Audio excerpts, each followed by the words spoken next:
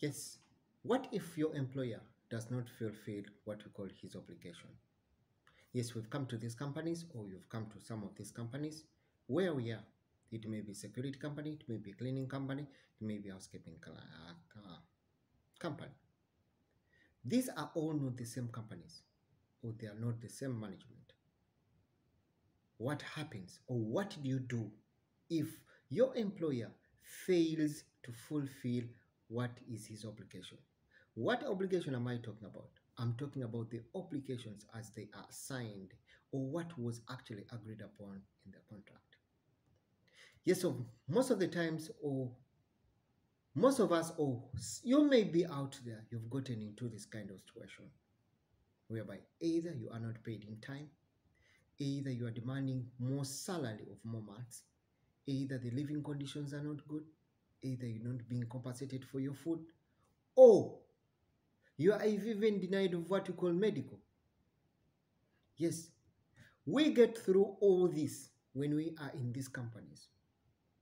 But remember, when you came to this company, you signed what you call a contract. And that contract has terms and conditions, or what you call the terms that you are supposed that that's supposed to bind you, you and the employer, or your sponsor in one way or the other, that I can say. Something that you need to remember. If something like for that situation gets a little bit higher on you, let's say, for example, your employer or your sponsor is bleaching what was agreed upon with the contract. My humble advice or my advice to you is do not badly take up the, the matter very fast on fire. Talk to the human resource or talk to the people responsible in that company.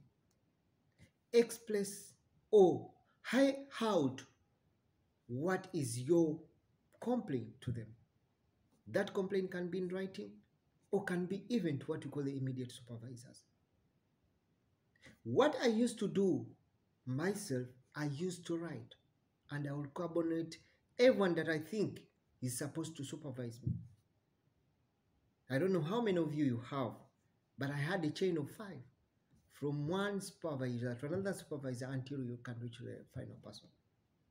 So what I used to do is I used to draft a letter and carbon copy each and every one. I'll give a copy, such that at the end of it all, no one says I do not have a copy for that.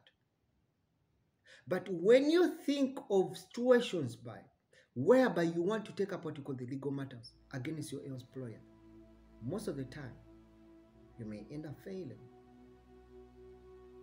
First of all, if you fail to a situation that you failed at at most, you fail to get help, that is when you can go to another level of taking up what you call the legal matters. But remember, before you go to take up what you call the legal action, you must be having sufficient evidence to back you up.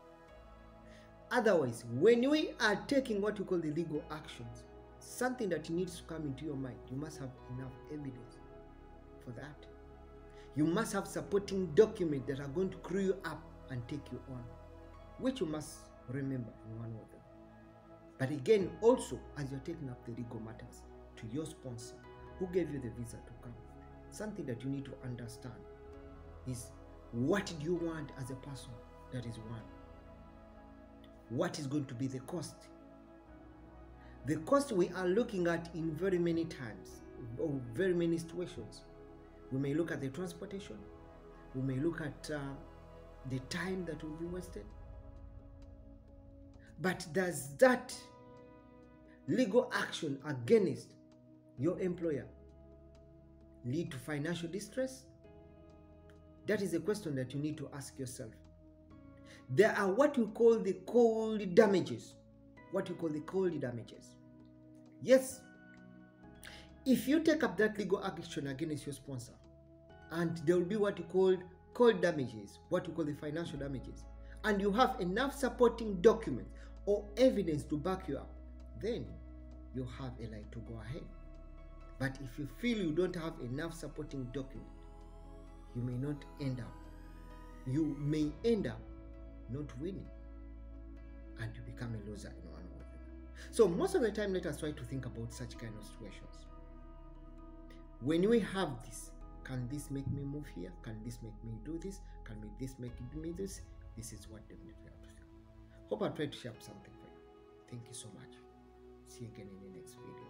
It's Mex Mex Creation TV at Instagram.